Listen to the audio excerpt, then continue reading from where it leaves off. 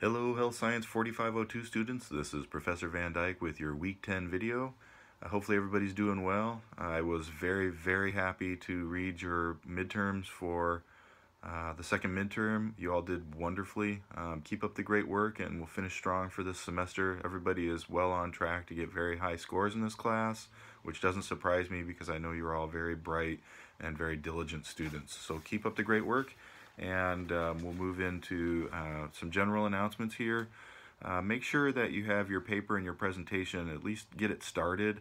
Uh, your paper is not due until Wednesday, November 25th, uh, right before, you know, right around Thanksgiving. So uh, if you get your paper done early, send it to me and I'll review it and let you know how you're doing. And um, usually uh, I'm, I'm pretty lenient with grading papers for this class.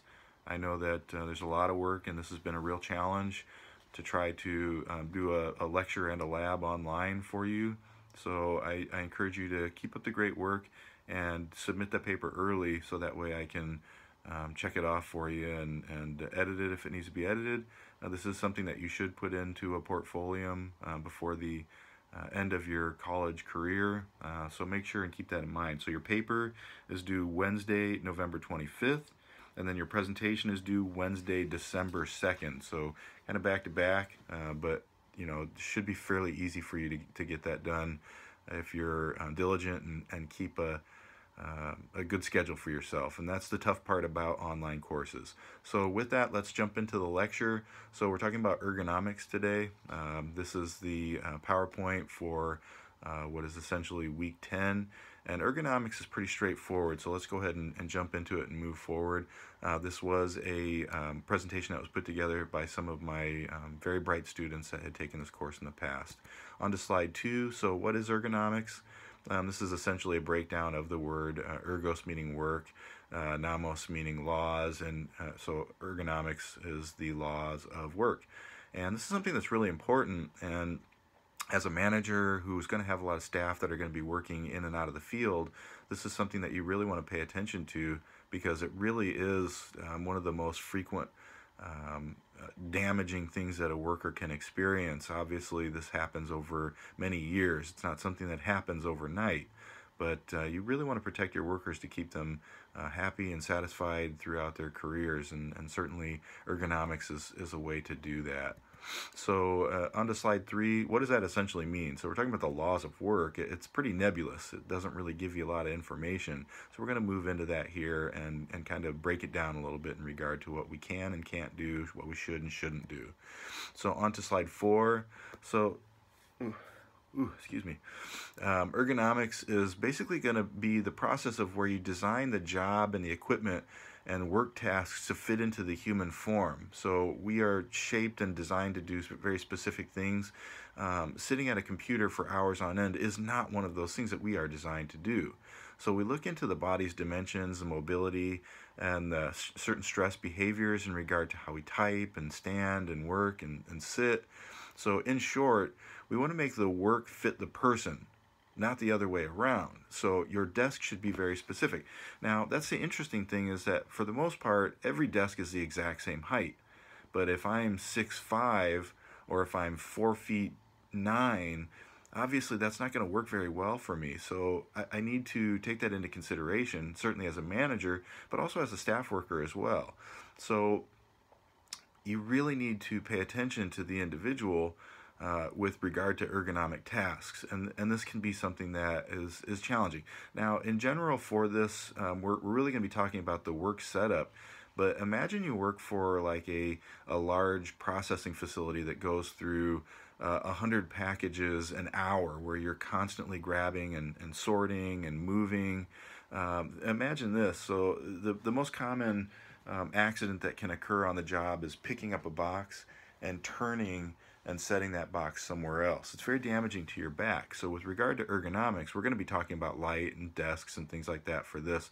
But you can also think about an ergonomic setup when you think about repetitive task motion. So if you have an individual that's doing this all day long, eventually they're going to hurt their back. So if you set up the work environment to fit the physical form, you really are making sure to do the very best you can to limit those repetitive motion um, disabilities that essentially will occur over time if you do not uh, protect your workers. So you will have repetitive stress injuries with your staff if you don't take care of these things and manage them appropriately. So on to slide five. Uh, as you look with the posture of the chair, what you what you'll notice is that there are a lot of 90 degree angles. Uh, so you look at the bend in the knee uh, from the uh, lower leg to the upper leg, and you also look at the the bend from the body, the torso, uh, and the thigh at the hip. So they are designed to be at 90 degrees approximately, as close as possible. So this is an upright sitting posture, and, and I want you to really notice that. So where you'll see with the eyes, the eyes are focused straight forward, and they're going to be looking at a computer screen. Uh, so if you look at the individual on the right-hand side, the monitor's a little bit low, and certainly you can see that there's a little bit of an issue where the legs and the posture are not at a 90 degree angle. Um, so you know, certainly a, an issue here, um, but not so severe that um, you see with some people where they are looking at a computer and they're pronounced slight, um, they have a very pronounced forward lean, which is uh, as time goes by, it's going to develop some horrible posture, some very bad back pain, and um, definitely some issues associated with constantly putting your body forward to read off the computer. So um, again, uh, slide six. Uh, we're looking at a, a, a declined sitting position uh, where you'll notice that the um, the user's thighs are inclined and uh, the buttocks are higher than the knee. This is definitely something that you don't want. Uh, the angle between the thigh and the torso is greater than 90 degrees and the torso is vertical or slightly reclined. So the legs are vertical, uh, but this is certainly not a good posture for an individual uh, because of that um, declined sitting position. And this is something that you want to watch out for. So on to slide seven. Um, this is a reclined sitting posture. Uh, again, there are a lot of issues with the chair here. Uh, the user's torso and neck are straight and there's a recline between 105 and 120 degrees from the thighs. Uh, this is something that you will occasionally see people do as they get more fatigued throughout the day. Uh, and the reclined sitting position is, is certainly not ideal um, where you have that 135 degree um, angle between uh, the, the hip, the torso, and the uh, upper torso and the neck. So again, we really look for that 90 degree posture throughout for an individual to be able to be uh, most comfortable on the job. On to slide eight. Uh, this is an issue in regard to posture with the feet. Uh, so with the individual on the left hand side, you can see that their posture allows for their feet to be directly on the ground and that they still are able to retain that 90 degrees throughout.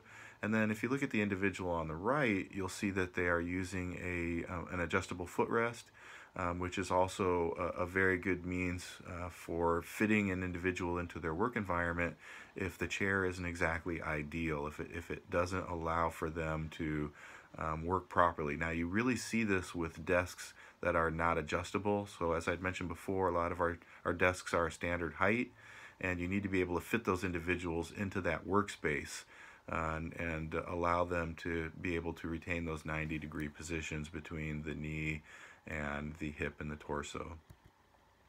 So with slide nine, now this is very important. So the hand position is is vital, and um, you really want that natural wrist posture to be you know something that you can do. And and we've come a long ways with regard to wrist rests for keyboards, keyboard shelves, articulating keyboard shelves, and even mouse pads that allow for a more natural posture with your wrist.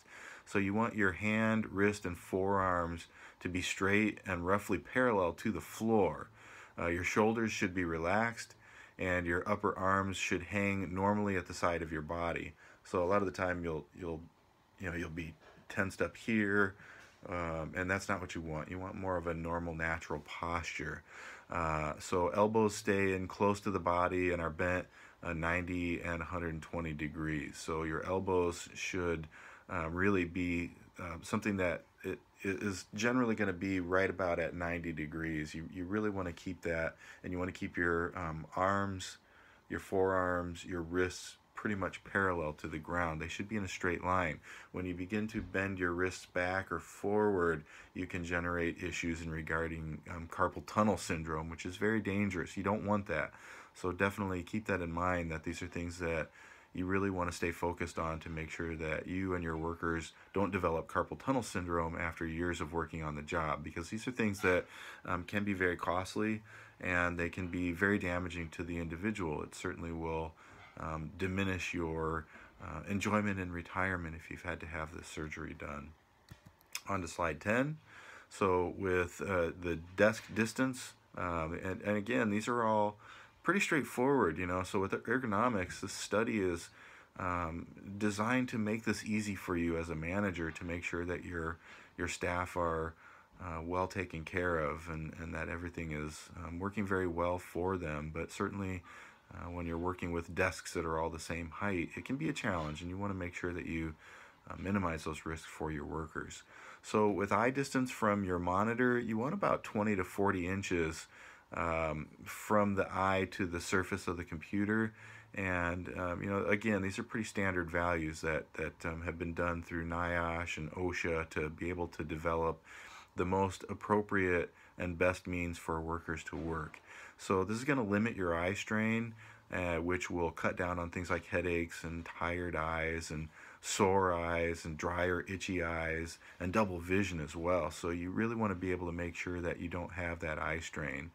And then your phone should be held next to the ear uh, by the hand and not by uh, the neck. You, you don't want to crouch your neck over um, and I've seen like older style phones that actually had a neck support that would allow you to do that. It's a horrible thing to do. And certainly, if you find yourself doing that regularly, you might want to talk to your supervisor about getting a headset that actually works with your phone. Uh, this is going to cause a lot of problems with your neck. Um, if one person used the phone for a long period of time, they should really consider using that headset. That's going to work out much better for those individuals, and and it's going to uh, generate more worker satisfaction and more productivity from your worker because they're not constantly in pain. So you look at the the top um, picture that's in the blue, the 20 to 40 inches. Uh, that's roughly the distance. Uh, but again, you look at this individual. Her arms are not exactly parallel to the floor. Her knees are bent at um, 90 degrees, but her posture is slightly back a little bit, which you know is not too bad. But again, you know you really want to try to uh, limit that as much as possible. And then you look at the worker um, with the white collared shirt uh, that's working off of a laptop. Uh, she's a little too close to the screen. She's getting eye strain, and she's also leaning forward very much to um, look at that computer screen, which is not ideal for that individual worker. So definitely keep those pictures in mind.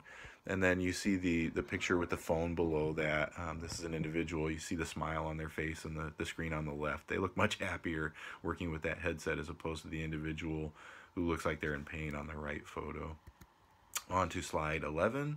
So height and distance um, from the monitor, again, um, adjusting the height of the monitor so that the top of the screen is about 10 to 20 degrees below your horizontal line of sight and it should have a slight tilt up at about 10 to 20 degrees so that the screen remains perpendicular to your gaze. So as you remember with perpendicular, I don't think there's any mystery there. So uh, again, values that are easy to, um, to make comparisons on. So you look at these things, you figure out, you can use a basic protractor to figure out, you know, are these um, height and distance acceptable.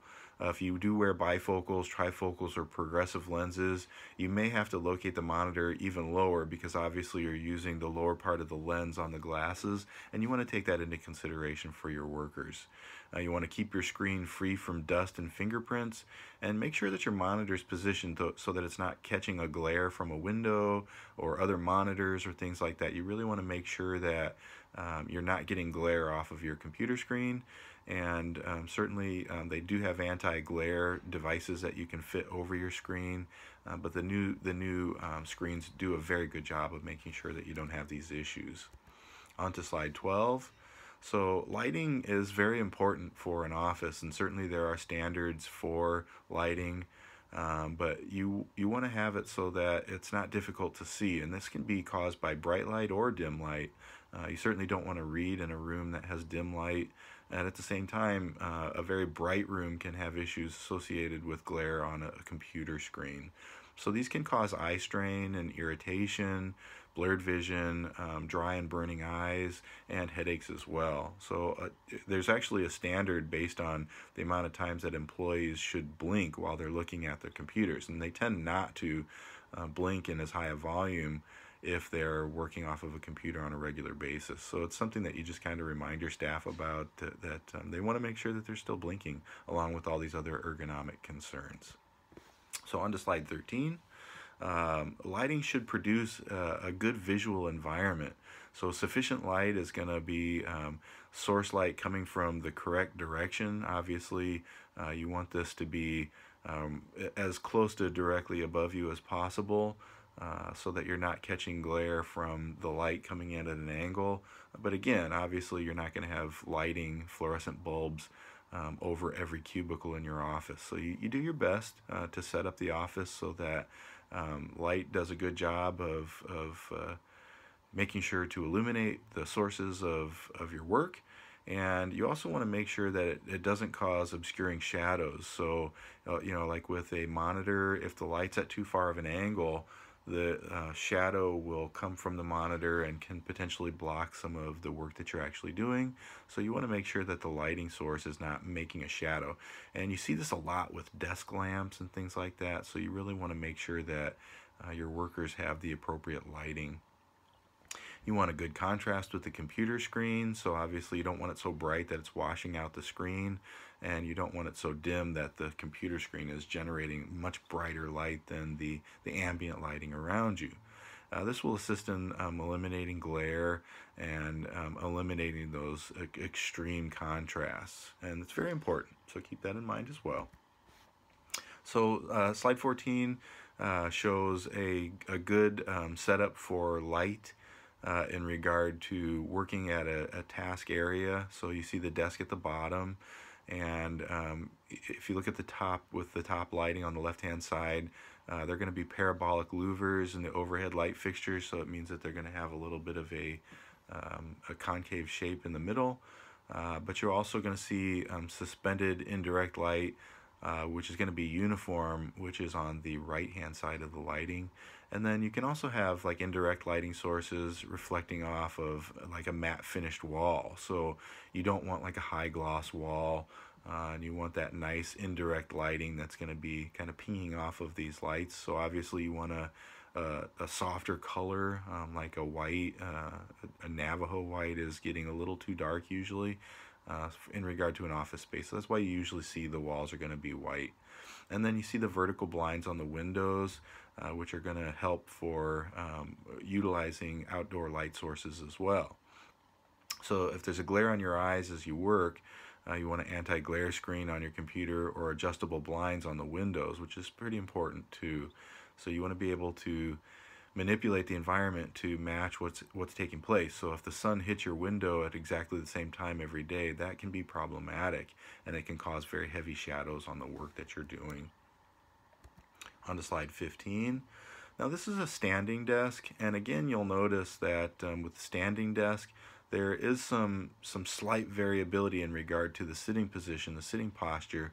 So you'll notice that um, the distance to the screen is cut down a little bit and this will have some um, some positive effects when you're working uh, and you'll you'll have a slightly different tilt on the monitor. So uh, obviously um, you know you're going to be between 20 and 28 inches from the monitor.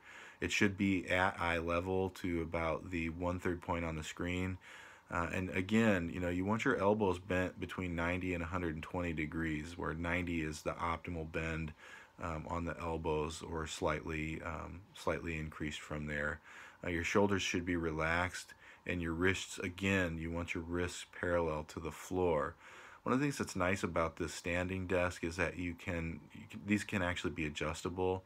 Uh, and it's nice for the workers, but you also want to consider the fact that they're going to be standing at their desk for a period of time. So anti-fatigue mats can be really nice for these individuals that are working at a standing desk. So on to slide 16. Um, the, the first quote is essentially that um, sitting is the new smoking. Uh, we like to be standing now. It increases our ability to be uh, uh, move around a little bit, uh, and it increases blood flow a little as opposed to being sitting, you know, in a sitting position. It's uh, good for your legs. Um, obviously, there are some issues in regard to standing for extended periods of time. Uh, so the, the adjustable standing desk is usually the ideal desk. That way you can sit down and stand up. They adjust very quickly, but again, you have to keep in mind that there's slight difference in regard to the distance that you want to be away from your monitor and things like that, depending on whether you're standing or if you're sitting.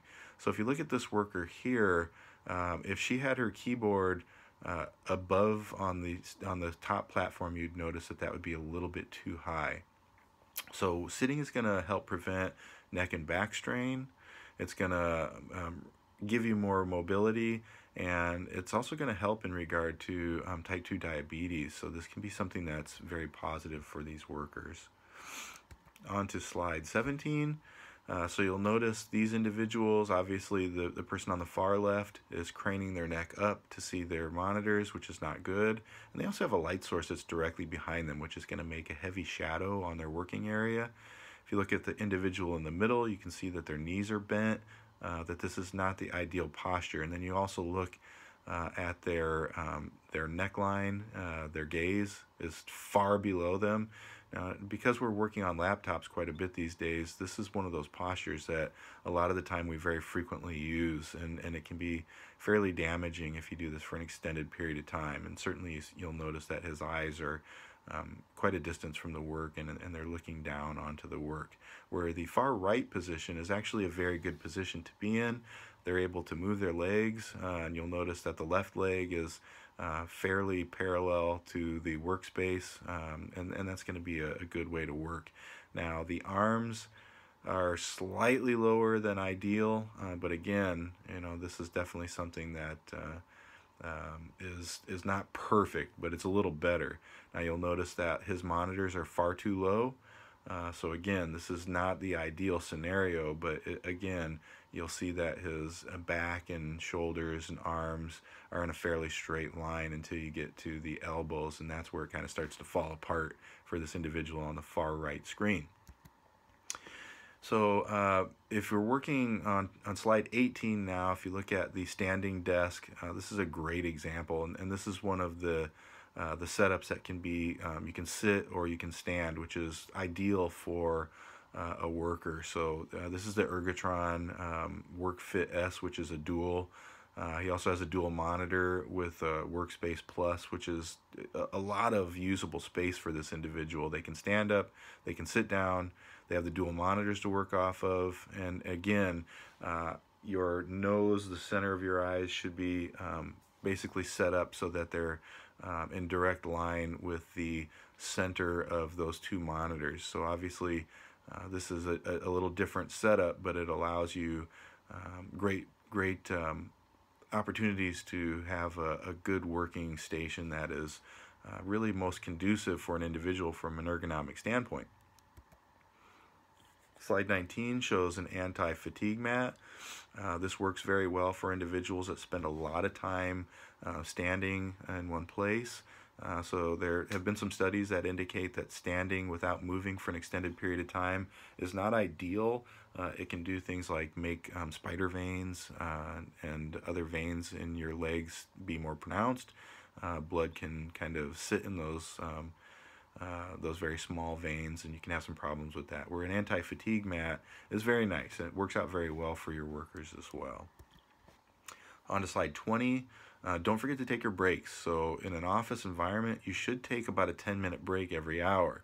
Now, unfortunately, there are some um, uh, organizations that don't allow you to do that. Uh, it certainly can be uh, a challenge to sell your boss on the idea that you need a 10 minute break every single hour. So again, if you can kind of squeeze those in, uh, it's a good thing. And as a manager, uh, you might want to encourage your workers if you've seen them working for an extended period of time to just take a short break, you know, and, and certainly there's uh, a requirement that um, you take a, you know, two uh, 10 minute breaks um, interspersed throughout the day. So usually what you get is a, um, you know, you, you work for a couple hours, you take a 10 minute break, then you work for a couple hours and you have lunch, then you work for a couple hours and you take another break. So this can be very good. It's going to reduce muscle tension and increase circulation, so it's going to be conducive to, to better thought processes and it's going to stimulate um, your muscles and your brain as well. And it's going to avoid um, deep vein thrombosis, which um, is an interesting process in and of itself. It's not something that's ideal uh, to sit for an extended period of time. So that's why when people fly, uh, they're encouraged to uh, get up and use the restroom every once in a while. If you have a three to four hour flight, uh, you can actually develop blood clots that are very dangerous for an individual, especially as you reach older age. On to slide 21. Um, these are some ergonomic breaks if you are sitting for an extended period of time uh, and typing for an extended period of time. These are things that you absolutely should do. Uh, take that finger and wrist flexor stretch.